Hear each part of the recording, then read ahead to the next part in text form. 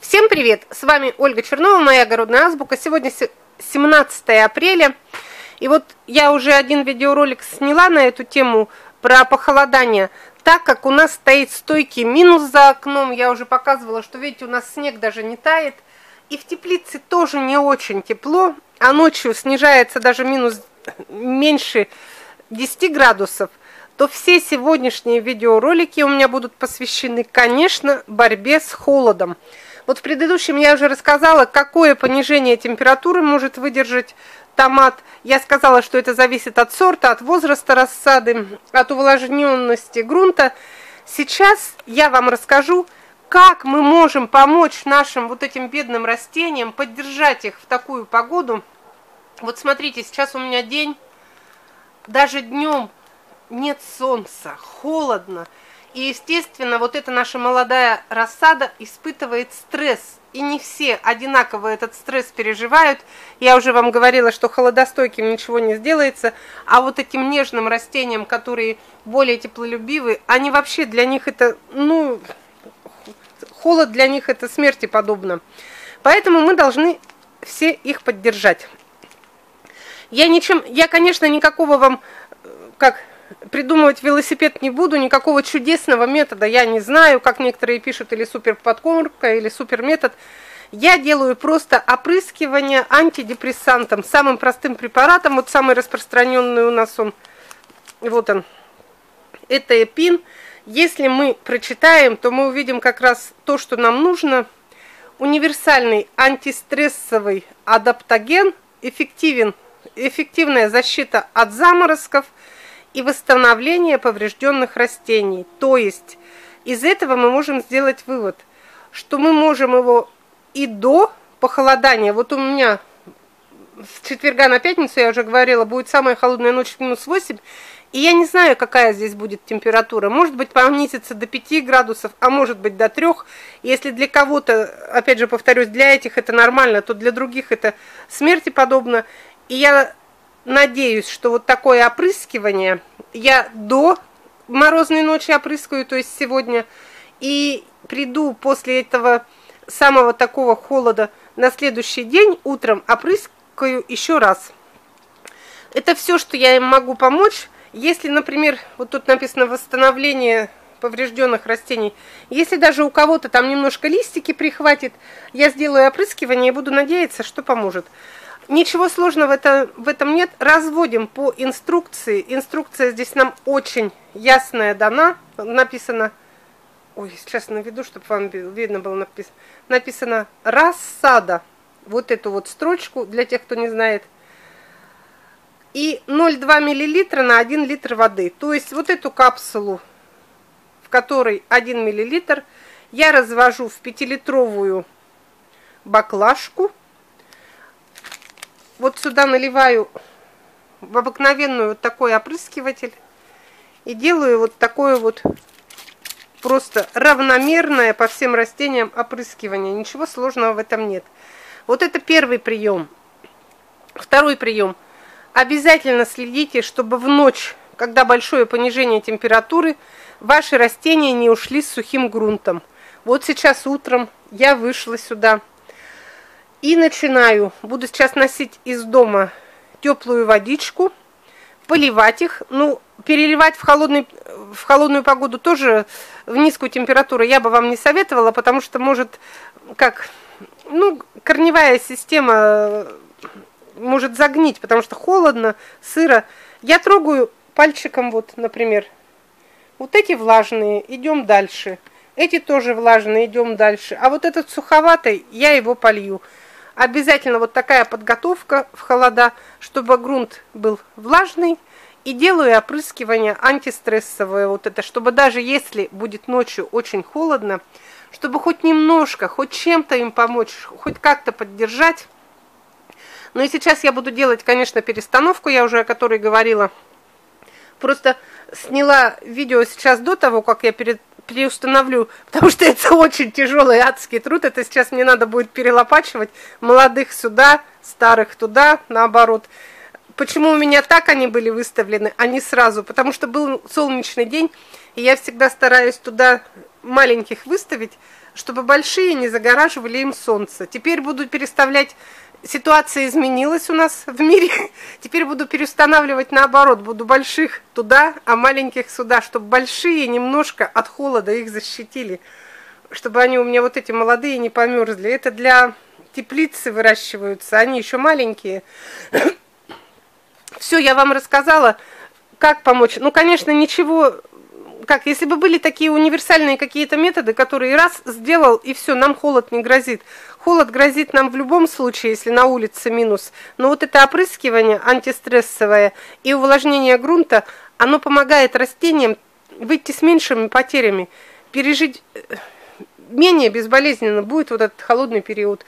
Но у нас еще три дня впереди, так что будем как-то скрипя зубами будем смотреть, наблюдать за растениями. Вот я сейчас хожу, смотрю на них, а ничего сделать не могу. Я же не могу сделать теплее, например, температуру там за бортом.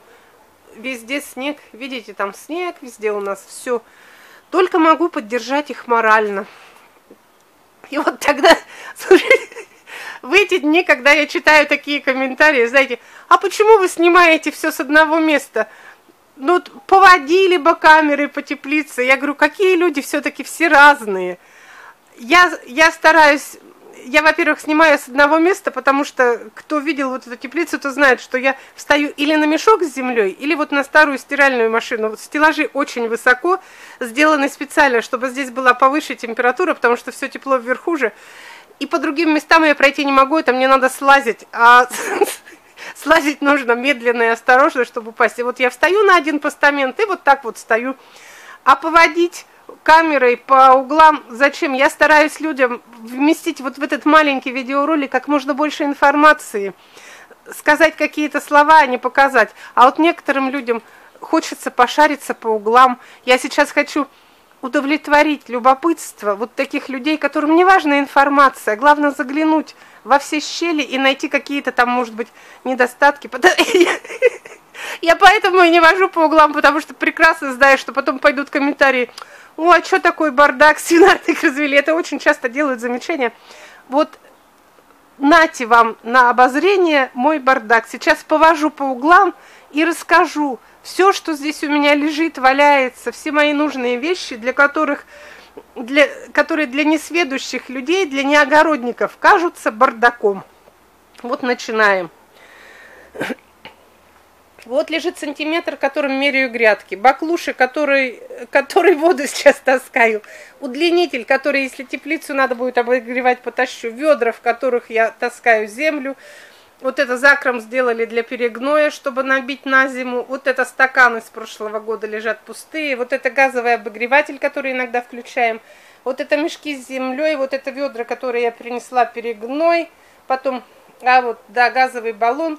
Там лежат мешки с тряпочками, с подвязками на хранение с осени. Там лежат у меня стаканы с прошлого года, которые опустошились.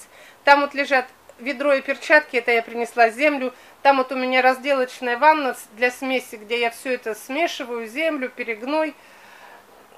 Там вот, вот эта маленькая ветродуйка в ведре стоит, которая поддерживает температуру. Все, смотрите, кому интересно, вот весь мой рабочий бардак. Все вещи нужные, но общий вид, конечно, он не очень красиво выглядит. Но здесь я работаю. Это не зал, для балов и не выставка ВДНХ, пожалуйста, можете писать, что у меня бардак, кому интересно. Так, вернемся к растениям. Вот я сейчас сделаю опрыскивание, сделаю перестановку. Еще, если, например, нужно сохранить, как-то поддержать в открытом грунте, вот кто-то уже что-то, например, ну даже не в открытом грунте, а в ту теплицу вынесли и, может быть, даже высадили, где нет возможности обогревать, я сразу скажу, что способов много. Кто-то пользуется одним, кто-то другим. Вот некоторые ставят бочки с водой, которые в течение дня нагреваются, а ночью тепло отдают. Я вот сегодня комментарий прочитала, и, кстати, у меня соседи так делают. Но вот в такую погоду, в пасмурную, этот способ не поможет, он не работает, к сожалению.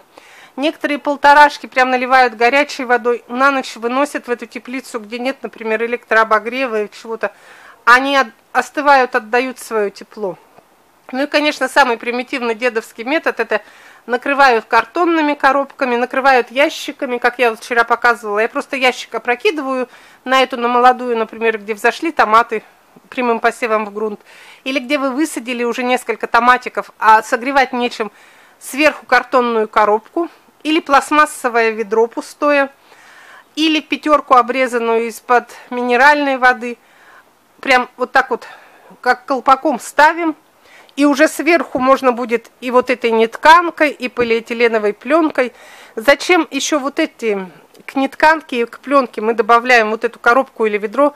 Ну, во-первых, не у всех есть дуги, а просто так класть, укладывать вот эту ткань, томат может сломаться, может помя... сомнется.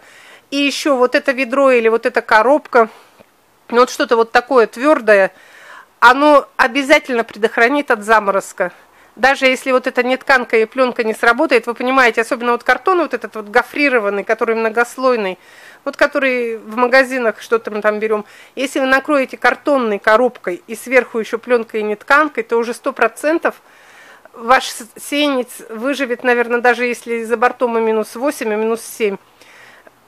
Там еще поликарбонат что-то сохранит, что-то полиэтиленовая пленка, нетканка, но вот эта коробка точно не даст холоду туда пройти. Я вот хочу дать вот этот совет на вооружение тем, у кого, возможно, вообще нет электроподогрева никакого в теплицах.